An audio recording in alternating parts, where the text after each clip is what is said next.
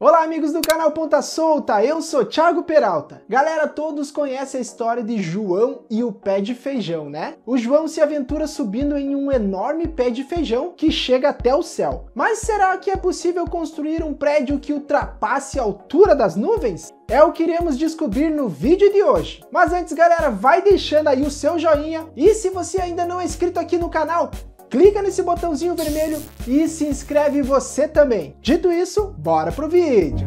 Galera, atualmente o maior prédio do mundo é o Burj Khalifa, localizado em Dubai, nos Emirados Árabes Unidos, com 828 metros de altura e 163 andares. Mas não é sobre ele que iremos falar no vídeo de hoje, e sim do seu sucessor, o Jeddah Tower. O futuro arranha-céus mais alto do mundo está em construção na cidade de Jeddah, segunda maior cidade da Arábia Saudita, e promete atravessar as nuvens. Com o início de sua obra no ano de 2015 e um custo total estimado em 1,23 bilhões de dólares, cerca de 4,35 bilhões de reais, até o fim de sua obra, a Torre de Jeddah ficará pronta em 2020 e irá se tornar o primeiro prédio no mundo com mais de um quilômetro de altura.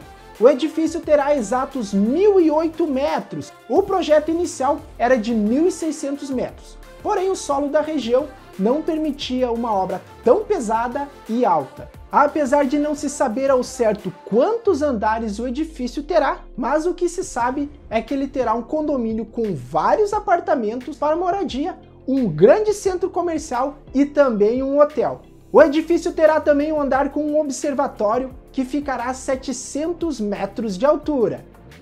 O Jeddah Tower foi projetado de maneira que suporte grandes tempestades de areia e outras intempéries existentes no deserto saudita. Por essa razão ele terá seu formato em curvas, para não lutar contra os fortes ventos do deserto saudita. Outro detalhe do empreendimento que chama atenção são o número de elevadores, cerca de 59, onde cinco desses elevadores terão dois andares e terão velocidade diferente dos elevadores convencionais, para evitar que a grande altitude e mudança de pressão cause náuseas e tonturas aos seus usuários. Sua base terá uma estrutura formada em três partes em um formato inspirado em folhas dobradas de plantas do deserto durante o seu crescimento. As torres de Jeddah são sim um grande desafio à engenharia moderna, porém, ao seu término servirá de conceito para novos empreendimentos.